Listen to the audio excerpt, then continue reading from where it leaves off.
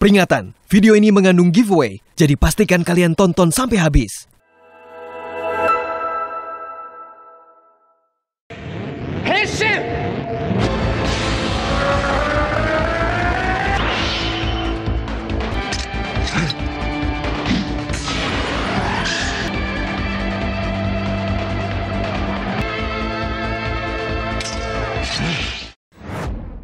Dari sekian daya tarik serial Tokusatsu Kamen Rider, senjata yang dipergunakan untuk menumpas para musuh adalah yang terbaik.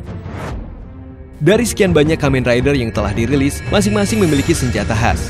Kira-kira apa saja ya senjata yang paling fenomenal di Kamen Rider yang katanya adalah kesatria Tokusatsu? Yuk simak daftarnya di sini.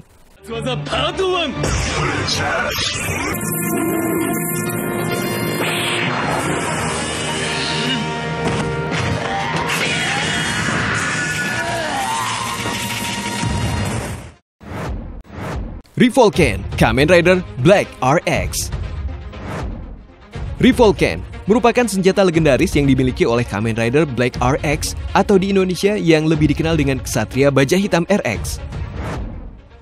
Di Indonesia, Revolcan sendiri disebut dengan pedang matahari. Pedang ini diambil oleh Ksatria Baja Hitam melalui sabuknya yang dikenal dengan DX Belt. Pedang ini tidak tajam, namun mengeluarkan cahaya seperti lightsaber. Hampir semua monster yang berhadapan dengan Black versi RX mati dibunuh menggunakan pedang ini.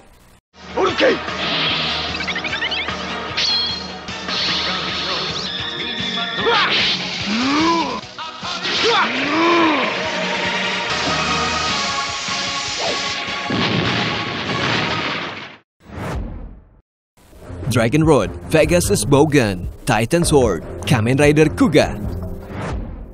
Kamen Rider Kuga menjadi salah satu Kamen Rider legendaris dan sangat terkenal di antara para pecinta serial Kamen Rider. Kostum Mask Rider Kuga juga masih sangat familiar dan identik dengan capung, di mana para pendahulu Kamen Rider ini juga memiliki kostum dengan topeng yang sangat mirip dengan capung. Senjata paling fenomenal di Kamen Rider Kuga bergantung pada transformasi yang dilakukannya. Masing-masing transformasi akan memungkinkan sang Kamen Rider untuk mengeluarkan senjata tersebut. Dragon Road dikeluarkan saat Kamen Rider sedang dalam transformasi Dragon. Dragon Road menyerupai anak panah namun tanpa busur. Teksturnya lebih tebal, di formasi awal akan terlihat tumpul, kemudian berubah menjadi runcing. Ini dinamakan dengan Rising Dragon Road. Senjata ini bisa dijadikan seperti tongkat yang bisa memukul mundur lawan.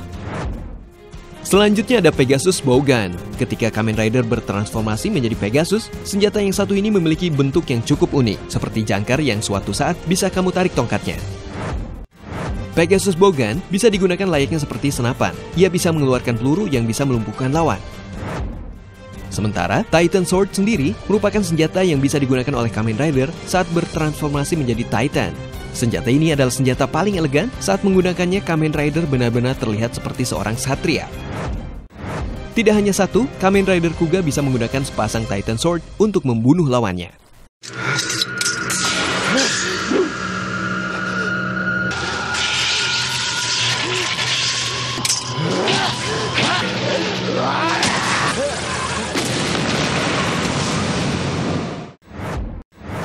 Kunaigan Kamen Rider Kabuto Buat kamu pecinta serial anime ninja seperti Naruto Shippuden, pasti sudah tidak asing dengan kunai. Senjata pisau terbang menyerupai pedang dengan tekstur dan ukuran yang lebih kecil ini menjadi salah satu senjata andalan para ninja.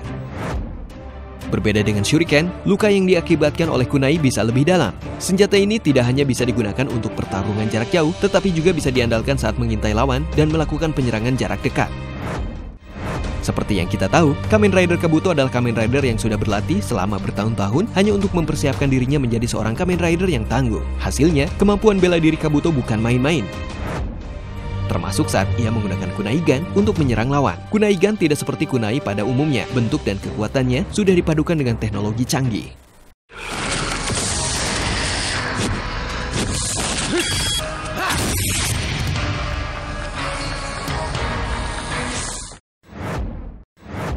Dan Kamen Sword, Kamen Rider Den-O. Kamen Rider Den-O akan selalu menjadi Kamen Rider yang disebut-sebut di banyak artikel tentang Tokusatsu. Kesuksesan serial Tokusatsu ini tidak bisa dianggap remeh. Perpaduan konsep cerita dan penggambaran Kamen Rider di serial ini hampir sempurna.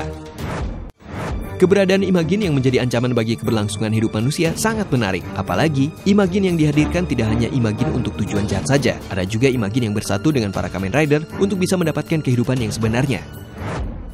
Kamen Rider Den-O sangat identik dengan Den Liner.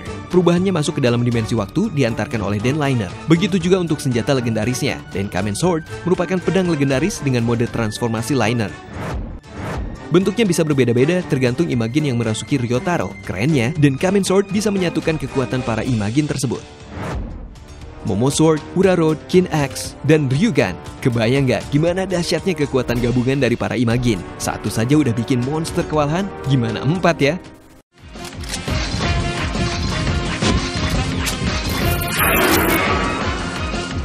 Yosha! Climax Version!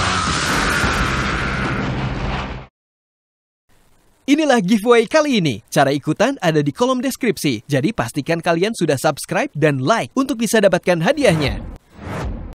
Excalibur Kamen Rider Wizard Senjata yang satu ini sudah tidak diragukan lagi. Nama Excalibur berasal dari nama pedang legendaris di masa kejayaan kerajaan Camelot, legenda Inggris. Excalibur hanya dapat diangkat oleh pemilik kekuatan sebenarnya, mirip dengan konsep Palutor. Excalibur memiliki kekuatan yang bisa membuat lawan tidak bisa lagi berkutik. Bukan main-main, Excalibur hanya dapat dikeluarkan oleh Kamen Rider Wizard saat ia berada di mode transformasi paling akhir. Artinya, senjata ini sudah paling maksimal kekuatannya. Uniknya senjata ini adalah, dia bisa multifungsi, bisa dalam mode kapak dengan kepala naga dan juga pedang legendaris. Ketika Kamen Rider memegangnya dengan satu tangan, maka mode pedang akan aktif. Ketika Kamen Rider memegang dengan dua tangan, maka mode kapaknya akan aktif. Menarik bukan?